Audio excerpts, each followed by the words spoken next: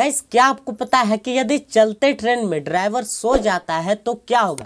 Gas, आप में से कई लोगों का जवाब यही होगा कि उस ट्रेन का एक्सीडेंट हो जाएगा या ट्रेन पटरी से उतर जाएगा। लेकिन गैस, ऐसा नहीं होगा। गैस, आखिर होगा क्या? चलिए मैं आपको बताता हूँ।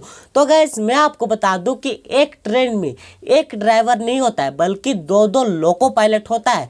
गैस, एक नहीं, दो होता है। यदि एक सो भी जाता है तो एक ड्राइवर में इतनी होता है कि वो ट्रेन को संभाल सकता है, किसी भी परिस्थिति से वो मुकाबला कर सकता है। तो गैस यदि कोई ऐसी परिस्थिति आता है तो अपने दूसरे ड्राइवर को जगा कर उस भी परिस्थिति का सामना कर सकता है। लेकिन गैस यदि सवाल उठता है कि दोनों लोको पायलट सो जाए तो क्या होगा? तो गैस मैं आपको बता दूँ कि यदि ट्रेन में दोनों लोको पायलट सो जाते हैं तो इससे भी कुछ नहीं होने वाला है।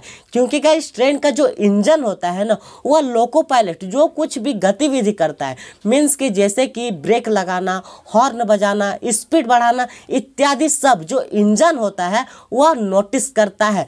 तो गैस मैं आपको बता दूँ कि यदि ट्रेन में जो ड्राइवर है, वो सो भी जाते हैं तो इससे कुछ नहीं होगा। और गैस मैं आपको बता दूँ कि ट्रेन में ड्राइवर का सोना तो लगभग असंभव है, क्योंकि उस समय वो अपने ड्यूटी पर होता है और कोई अपने ड्यूटी में कैसे सो सकता है। तो गैस मैं आशा करता हूँ कि आपको वीडियो अच्छी लगी होगी। वीडियो अच्छी लगी तो वीडियो को लाइक, शेयर एंड कमेंट ज़रूर कीजिएगा। साथ ही चैनल को सब्सक्राइब कर लीजिएगा।